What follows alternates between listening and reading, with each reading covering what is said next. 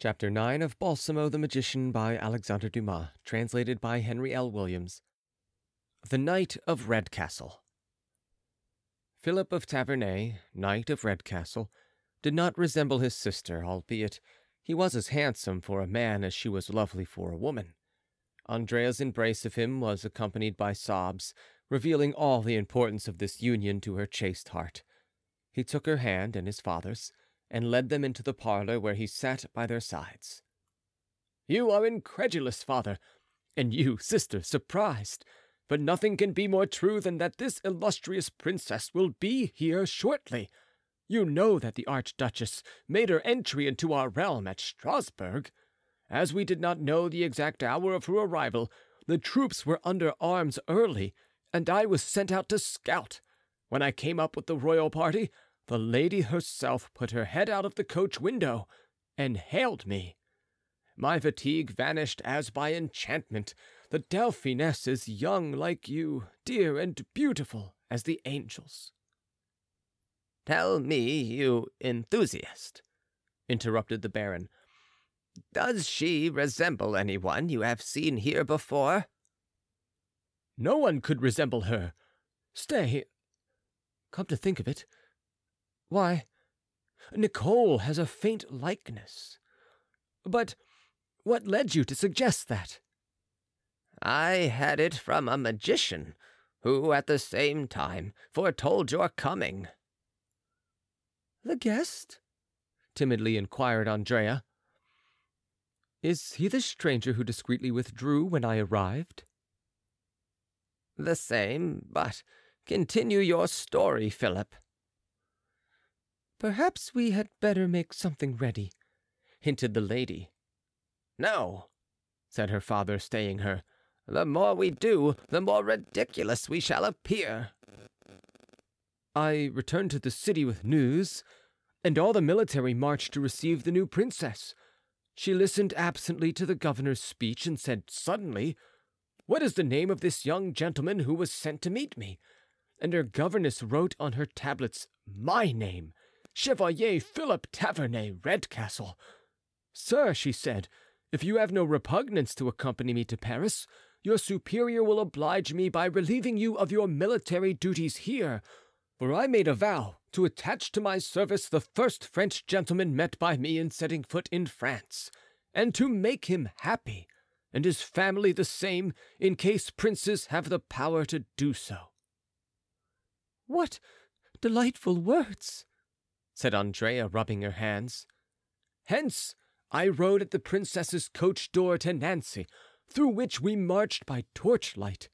She called me to her to say that she meant to stop a while at Taverney, though I said our house was not fit to receive so mighty a princess. The sweeter will be the welcome, then, the more plain but the more cordial, she replied. Poor though Taverney may be, it can supply a bowl of milk to the friend who wishes to forget for a time that she is the Princess of Austria and the Bride of France. Respect prevented me debating further, so I have ridden ahead. Impossible, said Andrea. However kind the princess may be, she would never be content with a glass of milk and a bunch of flowers. And if she were, went on Taverney, she would not tolerate my chairs, which break one's back, and my ragged tapestry offending the sight. Devil take capricious women! France will be prettily governed by a feather brain who has such whims. Plague take such a token of a singular reign! Oh, father, how can you talk so of a princess who floods our house with favors? Who dishonors me, returned the old noble. Who was thinking about Taverney? Not a soul. My name slept under Redcastle ruins not to come forth till I arrange the fit time. And here comes the freak of a royal babe to pull us out into public, dusty, tattered, and beggarly. The newspapers, always on the lookout for food for fun, will make a pretty comic talk of the brilliant princess's visit to the Taverney hovel. But, death of my life, an idea strikes me. I know history, and of the Count of Medina setting fire to his palace to win a queen's attention. I will burn down my kennel for a bonfire to the Dauphine's bride.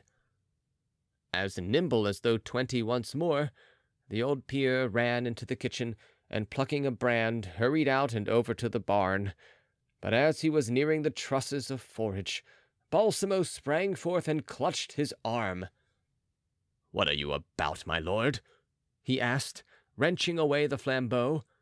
The Archduchess of Austria is no constable of Bourbon, a traitor, whose presence so fouls a dwelling that it must be purified by fire.